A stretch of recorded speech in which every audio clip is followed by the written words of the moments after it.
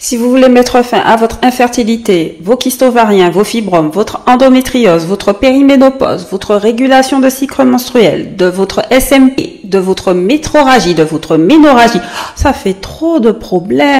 J'ai quatre plantes principales qui pourront vous aider et vous accompagner dans votre voyage vers la guérison. Quatre principales parce qu'il y en a d'autres, il y a des secondaires, il y en a beaucoup. Les feuilles de framboisier, l'alchémile, l'aquilémilfeuille et le gâtillier. Le gâtillier, lui, va agir sur la sécrétion de la prolactine. Et en diminuant le taux de prolactine, on va augmenter le taux de progestérone. Après trois mois de prise de la teinture, on peut observer une amélioration de tous les symptômes dus au SMP. Une régulation du cycle menstruel s'il est trop long ou trop court. Les sécheresses vaginales et les bouffées de chaleur dues à la périménopause ont disparu. Au revoir la ménorragie, au revoir la métroragie. Une étude a montré que sur 145 femmes, 56 sont tombées enceintes après trois mois de cure et combinée à d'autres plantes, elle met fin au fibrome, au kyste ovarien et à l'endométriose. Bye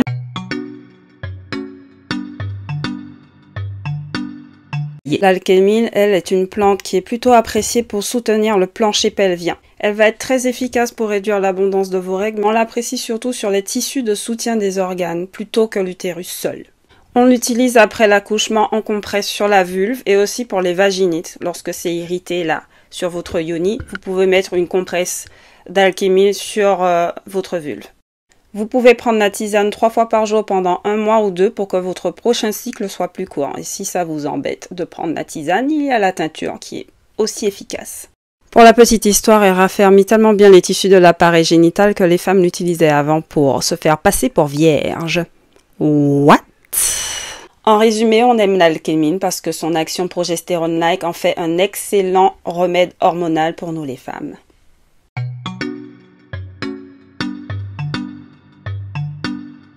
C'est autour de la qui est une pharmacie elle toute seule. Tu peux déboucher ta zone ORL en inhalation, tu peux appliquer l'infusion sur ton acné, tu peux mettre la plante fraîche dans ton nez pour arrêter les saignements. Mais ce qui nous intéresse le plus, c'est son action sur les fibromes en bain de siège ou en compresse sur l'utérus. Son action sur les douleurs menstruelles avec son côté anti-inflammatoire. Elle arrête les saignements abondants, les règles abondantes avec son côté astringent.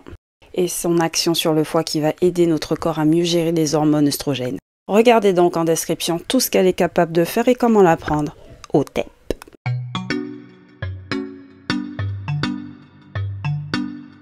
Feuille de framboisier, quant à elle, c'est un tonique utérin, un astringent, un anti-inflammatoire, une plante nutritive, un antiseptique et un antioxydant.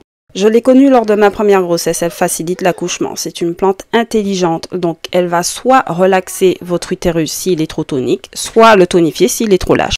On l'utilise aussi pour l'infertilité, les fausses couches à répétition, les syndromes prémenstruels, les dysménorrhées, l'endométriose, les fibromes et euh, parfois les ptoses utérines en complément avec euh, d'autres plantes bien sûr. Et pour certaines femmes, pas toutes, euh, la plante seule suffit pour les douleurs prémenstruelles. Tu peux la prendre en teinture, mais l'infusion sera beaucoup plus efficace, surtout en douche vaginale ou en compresse. En bonus, l'élixir sert à relâcher les blessures émotionnelles et à transformer le ressentiment en compassion ou en pardon. OTEP, taille de tes fibromes utérins en prenant de l'extrait de thé vert pendant au moins 4 mois. Pas envie d'avaler de gélules, je comprends, il te reste toujours le thé vert Sancha Bio. Et pendant ce temps, pour traiter aussi en externe, je passe de l'huile de ricin au niveau de mon utérus. Petit massage. Et à bientôt pour d'autres plantes contre la guerre des fibromes. Comment éliminer tes fibromes utérins partie 2 En partie 1, nous avons vu comme nous pouvions utiliser un certain thé et une certaine huile. Et dans cette partie 2, je vais simplement vous dire que vous pouvez déjà aider l'élimination ou la diminution de vos fibromes en changeant d'alimentation. C'est-à-dire plus de fruits, plus de légumes que de viande rouge ou de laitage destiné aux bébés des animaux. Moins d'alcool et du mauvais gras. L'alimentation peut être votre ami parfois parce que moi-même j'ai réussi à diminuer la longueur et l'abondance de mes règles en changeant d'alimentation. Ensuite, tout ça ne sert à rien si vous n'éliminez pas les déchets de votre corps par les émonctoires, en faisant du sport, en allant au sauna, en faisant des lavements, etc. Et si par le plus grand des hasards, vous commencez vos phrases par je suis quelqu'un qui, eh bien j'aimerais que la fin de cette phrase se termine par élimine les déchets de son corps chaque jour, par exemple.